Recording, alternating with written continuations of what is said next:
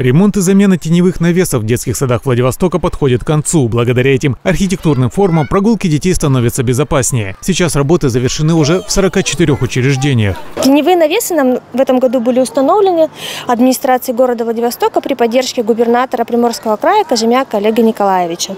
А, Наши детки очень любят играть в теневых навесах, они спасаются в них от жары. Также э, гуляем во время дождя, можно гулять в теневых навесах. Также у нас воспитатели используют еще теневые навесы для э, каких-то тематических игр. А, Детки рисуют в них, э, занимаются какими-то настольными играми. Всего в этом году будет отремонтировано и установлено 243 беседки. В большинстве случаев ремонт не проводился со времен постройки детских садов, а порой это 70-е, 80-е года. Провести такие работы стало возможно благодаря дополнительному финансированию из краевого бюджета в размере 150 миллионов рублей при поддержке губернатора Приморского края Олега Кожемяка и администрации города Владивостока. Артем Белов, Елизавета Драгомирова. Новости на восьмом.